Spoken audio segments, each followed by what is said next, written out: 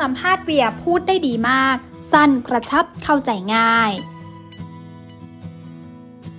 เป็นอีกหนึ่งคู่รักที่รักกันมายาวนานค่ะ แต่สุดท้ายก็คงเหลือไว้สถานะเพียงแค่พี่น้องสำหรับเบลล่ารานีและเวียสุกลวัฒน์ค่ะ ซึ่งทั้งคู่ยุติความสัมพันธ์รัก 9 ปีลงแล้ว แต่ทั้งนี้แฟนคลับก็ยังคงรอให้เวียออกมาพูดในส่วนของตัวเองบ้าง หลังจากที่เบลล่าได้มีการบอกไปแล้ว และลุ้นว่างานวันอีเวนต์ 12 ธันวาคมนี้ จะถึงคราวที่ฝ่ายชายออกมาพูดอะไรหรือไม่ หลังจากที่มีข่าวมาว่าทั้งคู่นั้นจบความสัมพันธ์กันแล้วตามมีชาวเน็ตหลายคนเชื่อมโยงข่าวเรื่องนั้นเรื่องนี้และยังขุดเรื่องเก่าๆมาพูดด้วย วันนี้จะพาย้อนไปดูบทสัมภาษณ์ของเวียสุกลวัฒน์ที่ครั้งหนึ่งเคยพูดกับประเด็นโยงข่าวมั่ว ไว้ว่าจริงๆ แล้วผมไม่ได้ห่วงตัวของแฟนคลับ ตัวดาราที่ตกเป็นข่าว ผมเชื่อว่าพวกพี่ที่เป็นแฟนคลับจริงๆ จะรู้จักและเข้าใจนักแสดงที่เขาชื่นชอบแล้วก็รัก แต่บางท่านที่เข้ามาคอมเมนต์หรือมีอะไรบ้างก็เป็นเรื่องปกติ เมื่อพอเป็นข่าวขึ้น